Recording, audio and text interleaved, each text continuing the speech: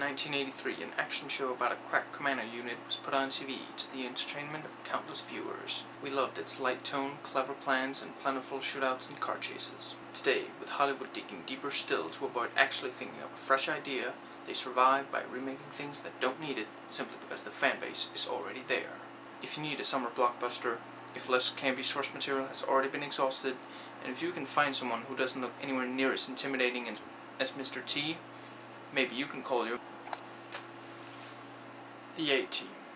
Okay, so in spite of that intro, I want to make it absolutely clear, this is two hours of pure fun. It's one of the best recent action movies I've seen.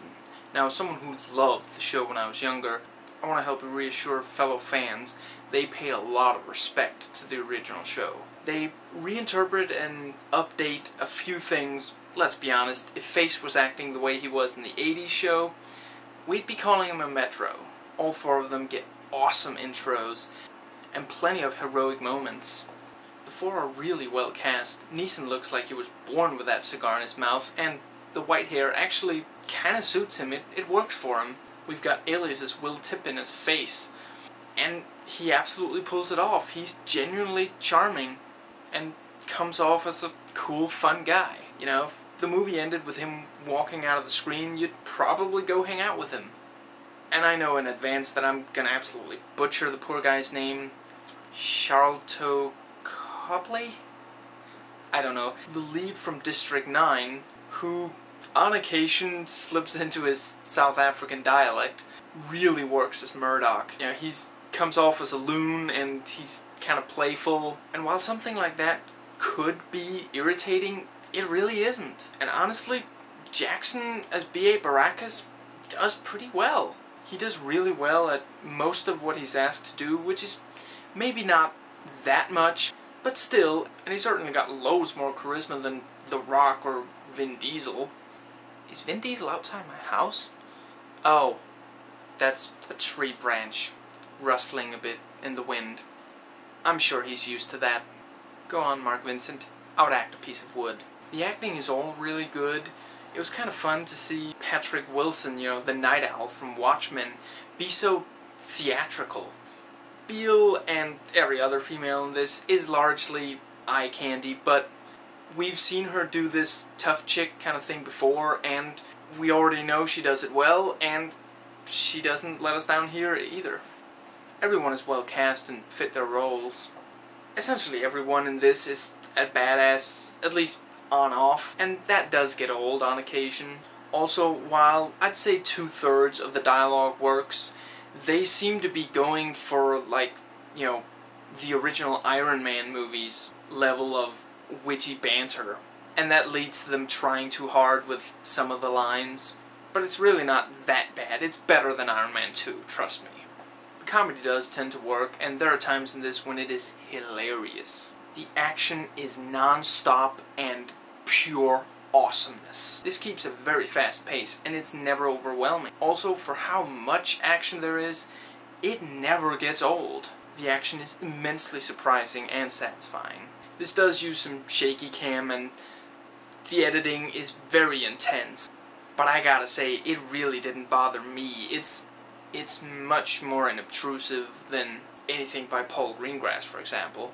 The plans are brilliant, and it's so much fun to see them gather the equipment and the materials. Also, for how much action this fits in, there's also plenty of build-up, plot that, in spite of twists that hold up quite nicely, doesn't manage to confuse us, and genuine arcs and character development. The effects are plentiful and almost invariably excellently done, there are a few instances here and there where you can kind of tell it's CGI. There are also a couple of brief sequences where they kind of seem to forget that we're interested in the people and not just the spectacle. You know, the spectacle really doesn't matter if there aren't any people around that we care about in the middle of it you know, just a handful of shots where you're thinking, okay, but where are the characters? With that said, there's very little that's gratuitous in this. Almost everything adds to the plot or the characters.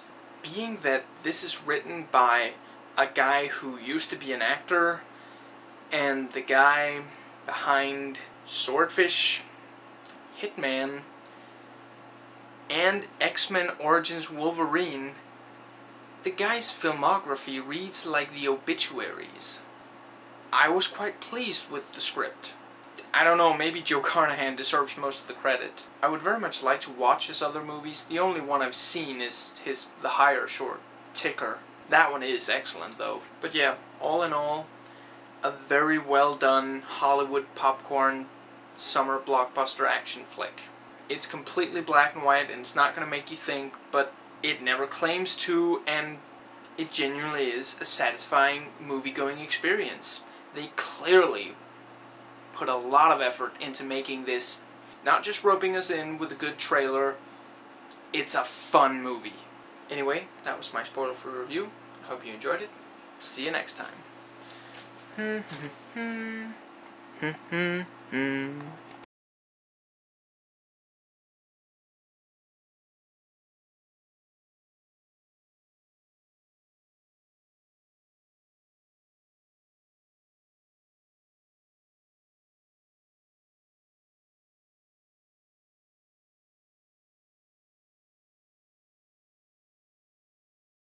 Okay, show of hands, who loved how they said the end part of the original show's intro right as the credits were starting? I like that they showed a lot of respect for the show, but honestly, early on it seemed like every other line Hannibal said contained the word plan in some way. I think they did really well on giving BA and Face a genuine character arc you know, they genuinely develop throughout the film. As does Face's relationship with Biel.